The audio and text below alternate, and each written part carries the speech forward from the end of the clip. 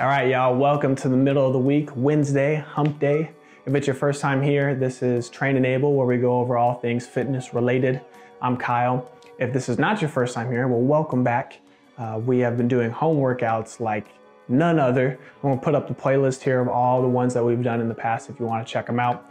And if you're going crazy, staring at the same four walls.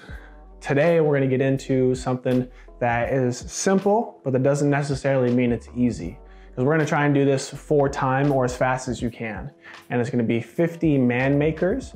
If you want to non-gender it, you can also just call them hero makers, whatever floats your boat. Uh, but starting with, in every minute on the minute, you're going to do three reverse burpees. I like to call them reverse reverpees because it's just a lot easier to say and it sounds kind of cool. So Let's talk about what the man maker is. If you don't have weights, don't worry because there's a great option for you as well. So if you have a pair of dumbbells, this one's for you because you're gonna come down to your dumbbells. You're going to do a push-up. You're going to row to one side, row to the other side. Snap those feet in. Do a squat, press the weight overhead, and that's one rep. Then you're gonna come back down, repeat.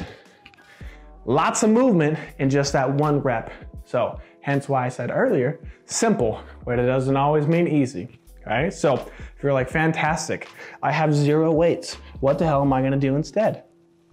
You're gonna do the unweighted man maker or hero maker, whatever you wanna call it.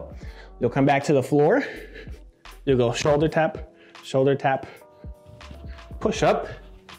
Then you're gonna do a jump out of that okay? That's your unweighted man maker. But starting with, in every minute on the minute, you're gonna do three reverse burpees. And that looks like this. You squat down, roll, come back, jump, okay? Only those two movements, which is like a combination of so many. So have fun, work hard, get sweaty, don't die. Like, comment, subscribe, and I'll see you guys tomorrow Thursday, pre Friday, for our next home workout.